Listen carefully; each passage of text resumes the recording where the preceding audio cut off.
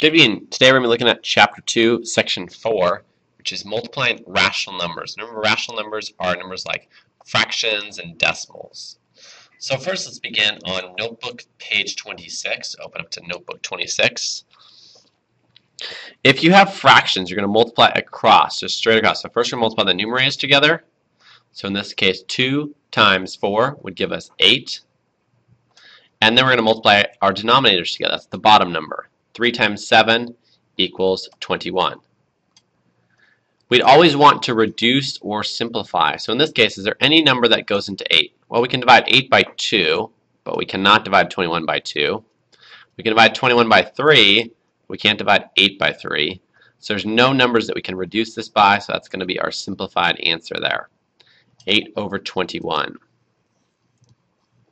In the decimal problems, we'll do some later, the decimals do not have to line up in the problem. We're just going to count how many decimal spaces we have, and that's how many decimals are going to be in our answer. So here's some practice here. What is 2 fifths times 3 fourths? So multiplying straight across, you're going to have an answer of 6 over 20. Do you think we can reduce 6 over 20? I bet we can. 6 over 20, we can divide 6 by 2. And we can divide 20 by 2. Remember, whatever you reduce the top by, you also have to reduce the bottom. So 6 divided by 2 is an answer of 3. And 20 divided by 2 is an answer of 10. So that's as good as we can reduce there. So our answer would be 3 over 10, or 3 tenths. 1 times 4 would be 4. And 3 times 11 would be 33. There's nothing that we can reduce that by. 4 is divisible by 2, but 33 is not. 33 is divisible by 3, but 4 is not. So that's as good as we're going to be able to do there. We can multiply straight across here. 2 times 1 would be 2, and 12 times 1 would be 12. Now we can actually divide those both by 2, and we get an answer of 1 over 6, or 1 sixth. So that would be our answer there. Make sure you're circling or highlighting your answers. Now what happens when you have a mixed number here? That's a large number, a whole number, plus a fraction. The first thing we need to do is change that into an improper fraction. So an improper fraction. So if you have 4 times 3, gives an answer of 12, plus 1 would be 13 over 3. And we're still going to do multiplication here times 2 over 5. So 13 times 2 is 26. And 3 times 5 is 15. You figure out how many times does 15 go into 26? Well, that goes in once. So we need to reduce it now. And 25 minus 15 gives us an answer of 11. So I have 1 and 11 fifteenths. If you had one that was negative, certainly work through, like imagine this 2 fifths had been negative, that would have been negative, and so we'd have a negative answer here. So if 1 is negative, your answer is going to be negative. Make sure you're watching that negative sign. Now what about when you're multiplying decimals? So how about 2.1 times 1.3? We're going to line that up just like a normal multiplication problem. So 2.1 and then 1.3. In this case, the decimals happen to line up. They don't have to. I'm going to say 3 times 1 is 3. 3 times 2 is 6. Put in that 0 placeholder. 1 times 1 is 1. And 1 times 2 is 2. Going to add up our answer and that would give us 273. And we count. In this one, there are one, two decimal places in the multiplication problem, so we need two decimal places in our answer.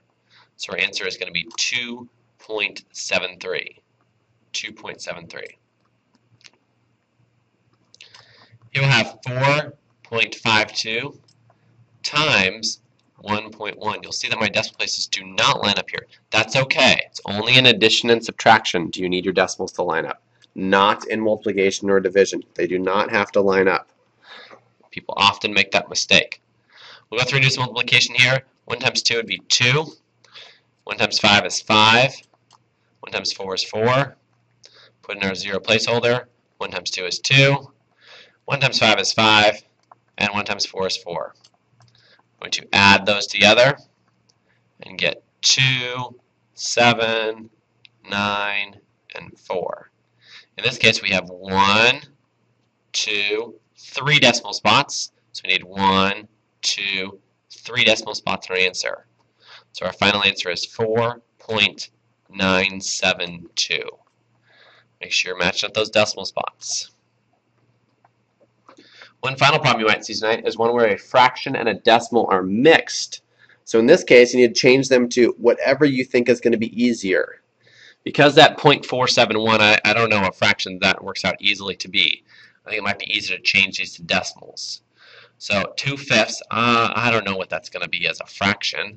So what I'm going to do is divide 2 divided by 5. I'm work it out here. 5 goes into 2 0 times. 0 times 5 is 0. I'm going to subtract. 2 minus 0 is 2. I'm going to bring down that 0. 5 goes into 20 four times. 4 times 5 is 20. And I can subtract and I get a 0 answer there. So it turns out, oh, it's 0.4. So I'm going to have 1.4 times 1.471. A little bit of multiplication here. 4 times 1 is 4. 4 times 7 would be 28, so I'll carry the 2. 4 times 4 is 16, plus 2 would be 18. Carry the 1. And 4 times 1 is 4, plus 1 would be 5. Now put in my 0 placeholder there. 1 times 1 is 1. 1 times 7 is 7.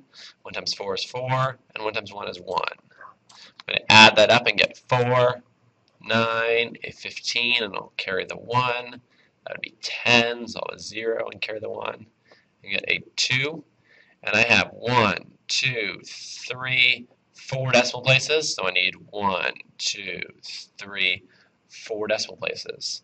So my answer would be 2.0594. Be my final answer there. On your textbook, page 80, you're going to work out numbers 1 through 9, and you're going to answer a couple of those into your answer entry online right below this video. Please make sure you're doing that answer entry. It's really helpful for me in figuring out what I need to go over the next day. I will see you all in class tomorrow. Have a good night.